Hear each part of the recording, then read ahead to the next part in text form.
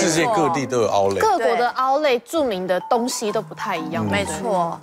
我先来先讲讲一下，因为呢，其实我有在写部落格，我就是很喜欢买东西，然后写到呢，在欧洲有一个 Outlet 集团，那个 Outlet 集团连续两年邀请我去参加他们的就是媒体参访、名人参访，所以我去年的九月也是刚回来，就收集了八家。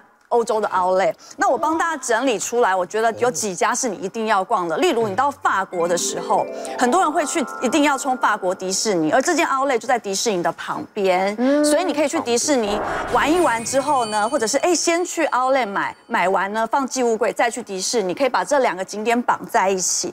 然后或者是你到英国这一间 Outlet 是一定要买的，它从伦敦市区坐。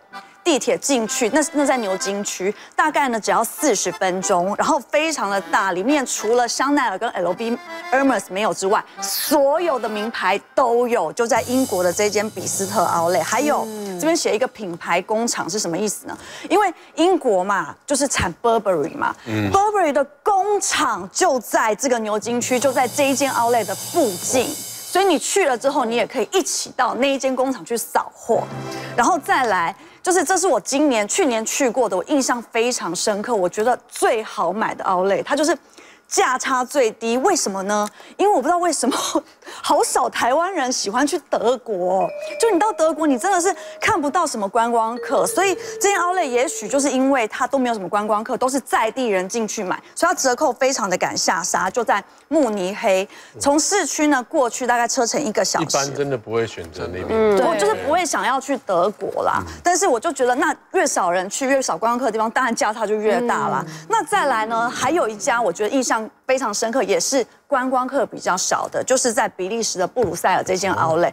这间 Outlet 呢也是非常敢下杀，因为你知道我们 Outlet 会有所谓的折上折，尤其欧洲人，像我们可能到日本 Outlet，他会因为圣诞节跟你说，哎，买三件打九折。可是你知道欧洲 Outlet 它没有在废话的，比如说。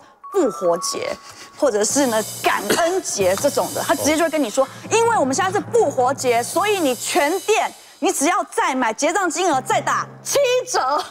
哇！所以就很扯的是，它的定价已经是可能台湾的三折了，你又再打七折，所以你看，还有什么黑色星期五什么那种？哦，对对，也会因为那样子就会给你个折上折。节后，对，我还有听说过，就是他们就是折上折之后再说现场你结账的时候什么加入会员再九折，真的是疯狂的狂折，这样我很多朋友是买到就疯掉这样子，是真的疯掉了，真的疯掉。非他就一次要让你 不知道自己在签什么。对，就是一次要让你呢。越越买越多。对，把你的就是手口袋里面的现金全部或者是卡全部刷爆。你看，这就是我上次去的时候。你一次去全部这样，就是你，你懂吗？你真的不买，对不起自己。你老公看到这场那个翻脸，甚至老公应该直接就是把那个板子给劈了，然后呢？就休妻啦，真的。对，就是真的，你真的是非常的好买，你什么都想要买，因为价差都非常大。再来呢，我要跟大家说，刚才不是说德国 Outlet 吗？那到德国呢，很多人不知道要买什么品牌，因为德国就是老佛爷。那很多人说香奈儿设计师老佛爷，他是不是到法国买比较便宜？我告诉你，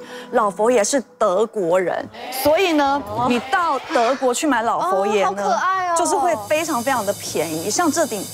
因为老佛爷他有养一只猫咪嘛，所以你看得到很多那个猫咪的好可爱哦，有没有猫？它它的猫咪的 logo 的相关的这个就是商品，像这一顶呢，算下来大概才五百块台币。新的吗？对，新的新的，它是新的啦，五百？五百块台币，然后再来哦，你看，就是这边呢还有这种，就是我也买到了这一条呢，也大概是两千多的台币，就是很可爱。哎，有一些韩国的围巾都不止黑人两千黑人对呀，要收购不止了。然后呢马上，又呃围巾还好，我入怕它有尘螨。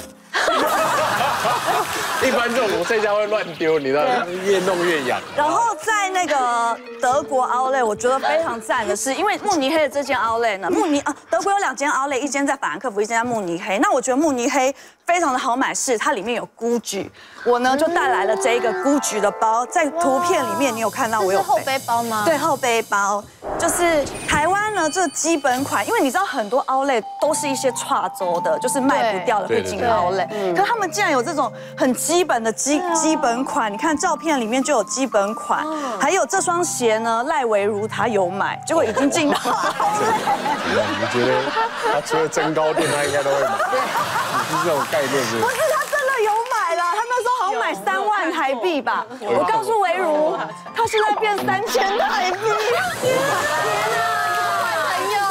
这会生气的。真的耶就耶。你买了一个，后来听到这种价钱，对啊，这会生气的。其其实会，你如果是原价在台湾的，比如说精品店买，然后你去国外 Outlet 看到同样的时候，其实你真的是火烧到这边，然后就会去怒买别的东西。买 对，然后来那个 balance 一下。补回来，补回来。这个包呢，它是基本款，因为基本款要进了 Outlet 就非常的难了。台湾热销了。对台湾大概是四万五台币，大家不知道猜多少钱？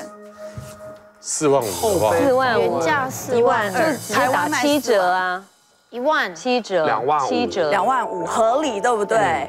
这个包呢，我是在德国的 Outlet 买的，它呢才一万五，而且我我现在讲的都没有退税哦，尚未退税，就是退完税更便宜。对更便宜，因为这个然后还要再退税，对。哇，对。因为这种 logo 的基本经典款，一般真的 Outlet 比较少，对，对？英国的那个 Outlet 我有去过，它里面什么东西最大件，你知道吗？Burberry 最大间，哦没错，占地最广。然后你进去，而且是好两层楼。对，然后它哇，你怎么会买到这种基本款的风衣？我跟你讲，对基本我就是在你刚刚说的英国那间 Outlet 好适买的。合你哦。你看，除了基本款之外，小 size 也是多么的难得啊！因为我们亚洲人去非常吃香，是对小 size 很好，都有非常好，因为在德国大部分的大 size 卖掉，对然后。，因为刚才有说嘛，因为就是要去英国买 Burberry，Burberry 这一件基本款风衣，台湾已经要卖到六万块了。但是我这一件呢，就是在你刚说英国的比斯特，我才买两万不到。我那个时候去买了两件大衣，不是这种风衣，我买两件大衣，但我忘我不知道他们原价多少，我去结账两件加起来不到四万块，那你有回去看原价吗？就台湾的，没有，我没看原价，而且是非常好驼色大衣。如果是大衣的话就贵了，大衣就贵了，因为是毛呢的就贵了。如果喜欢时尚的话，这是必备的，对，一身必备。一一定要有一件，还有我身上的这一件呢，这一件皮衣其实是比如说幼群老师啊，然后凯文老师人手一件的，走在时尚尖端的人们，对，或者是网红们，大家都有叫做 O Sense 这个品牌。O Sense 呢，台湾专柜一件皮衣就是要两万出头，对你看它的真皮。的，该不会也是在英国那一件？我不是英国，这是在比利时，就是我强力觉得它最便宜，复活节跟我说打七折美。这个呢，我当时在那边看，它打下来呢，大概是五千多台币，是不是就已经不用废话了？各色全部来了，千多，五千多，但是因成为。复活节它打七折，所以这一件就变成三千多。天哪，当卫生衣在买了。对啊。真的复活了。对，价值观是有点错乱就是一定要这个而且是这种不退流行的。对啊，这个就是颜色也很雅，颜色也是就是裸真的这个款式也不退流行，对很棒。哎，如果去欧洲的话，一定要去刚你讲的那几家，对对对。去转一转，这还机票钱都值得。真